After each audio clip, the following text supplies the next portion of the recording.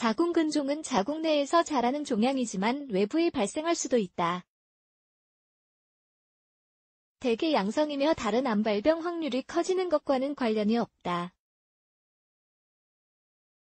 하지만 너무 빠른 속도로 자라는 경우에는 산부인과에 가서 주기적으로 검사를 받아야 한다. 오늘은 우리 몸이 알려주는 자궁근종의 몇 가지 경고 징후를 알아보자.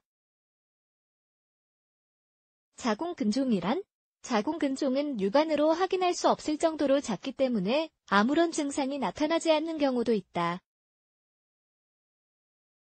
하지만 자궁근종의 크기가 매우 커져서 자궁이나 다른 부위를 누르게 되면 문제가 나타난다. 이 경우에는 시간이 갈수록 불편함이 더 커질 수 있다. 대개 다음과 같은 상황이라면 자궁근종의 경고 징후가 쉽게 나타날 수 있다. 이미 몇 개의 자궁근종이 생겼을 때 자궁근종의 위치가 매우 민감한 부위일 때 자궁근종의 크기가 클수록 통증과 불편함도 더 악화된다는 점을 잊지 말자. 지금부터 자궁근종의 경고 징후 7가지를 소개한다. 바로 대처할 수 있도록 잘 기억해두자. 1. 방광에 문제가 있다. 방광에 문제가 생기는 원인이 자궁근종만 있는 것은 아니다. 하지만 근종이 자궁 외벽 또는 방광 주변에 생기면 방광을 눌러 문제를 유발할 수 있다. 평상시보다 더 자주 소변을 보고 싶은 욕구가 가장 일반적인 증상이다. 심지어는 소변이 가득 찬 경우에도 근종으로 인해 배출을 하는 것이 어려워질 수 있다. 평소보다 더 자주 화장실에 가지만 계속해서 잔류감이 사라지지 않는다면 병원에 가서 검사를 받아보자. 2. 직장에서 압박감이 느껴진다 방광을 누르는 것과 마찬가지로 근종이 직장을 누르는 문제가 발생할 수 있다. 이러한 경우에는 압박감으로 인해 더부룩한 느낌이 들 수 있다. 또한 장 운동이 원활하게 이루어지지 않고 치질이 생길 수도 있다. 물론 다른 문제로 인해 이러한 증상이 나타날 수도 있지만 자궁근종에 가족력이 있다면 꼭 산부인과에 가서 검사를 받아야 한다.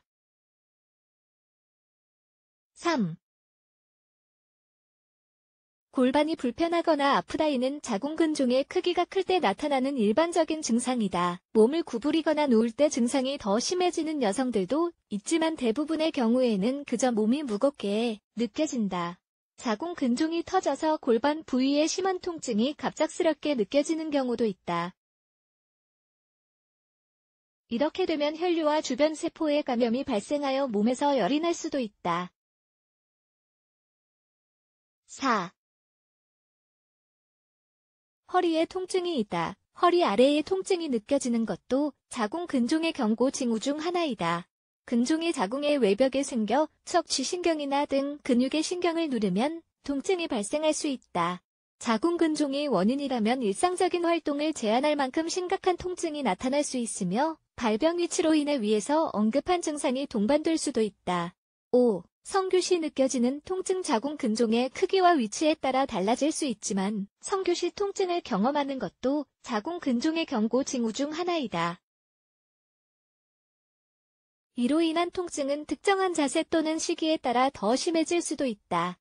성교시 통증을 경험한다면 오해가 쌓이지 않도록 파트너와의 충분한 의사소통을 하는 것이 중요하다. 6. 많아진 생리량 생리량이 많아지면 자궁 근종을 의심해 볼 필요가 있다. 짧은 시간 내에 많은 양의 생리혈이 나오기 때문에 상당히 불편하거나 심한 통증이 발생할 수 있으며 극심한 경련이 동반될 수도 있다. 생리기간이 긴 경우에는 빈혈도 쉽게 생기기 때문에 바로 병원에 가서 진찰을 받는 것이 좋다. 7. 길어진 생리 기간 또는 주기 사이의 출혈 자궁 근종은 생리량뿐만 아니라 기간에도 영향을 미친다. 생리 기간이 7일 이상으로 길어지거나 생리 기간이 아닐 때도 소량의 피가 묻어 나오거나 경련과 심한 통증이 동반될 수 있다. 위에서 소개한 징후를 잊지 말고 1년에 한 번씩 산부인과 검사를 받는 것이 가장 좋다. 만약 증상 중 하나를 경험하고 있다면 바로 병원에 가보자.